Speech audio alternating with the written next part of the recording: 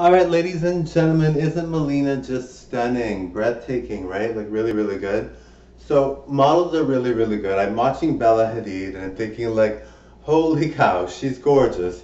Um, I didn't see her that way before, but I saw this one video of hers and she's on her stable and she's like looking so good. And I'm like, oh my goodness. Um, yes, so she's very good, obviously. Uh, there's a lot of good celebrities out there. I do like to say that I'm better than a lot of celebrities, but in reality, we know a lot of celebrities, especially the sexy ones, are very, very good, and they have their moments, right? Like, not every one of their videos is going to be phenomenal, but for the most part, you're going to see breathtaking videos, and they try a bunch of different looks, and they do all kinds of things. So, you know, they're brave. They're not just going to do the one look, right? I always try to do, as Mileena, I try to do the most glam look I can possibly do, and I do like to experiment a lot with different looks, but I do like to do similar looks for sure, but I do experiment with different looks and do short hair and different things like that. But you know, there are some celebrities you're like, holy, like my goodness, like Bella Hadid. I'm like, oh my god, uh, she's really, really good. Uh, so yeah, so there's some celebrities that you're like blown away by. Obviously, Heidi Klum is one of them. Uh, Mel B from the Spice Girls, um, Ricky Martin, uh, Shania Twain. Like these people are like so gorgeous, and you're like, holy, like.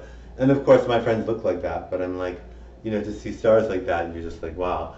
But of course, like I, I seriously have gorgeous friends. They're like really gorgeous. Um, but yes, so um, uh, but I'm very happy to say I'm performing for all you guys tonight, and I want you guys to know that there's, if you are an underdog or you are someone that maybe you haven't had the best luck or the situation hasn't been the best, you can turn that around, right? So it's really important to recognize that you don't have to feel like you're stuck or in a rut. There are things you can do to change your life and make them better. Now, sometimes it's difficult, but I mean, for the most part, you can all change and do things to try to get better yourselves.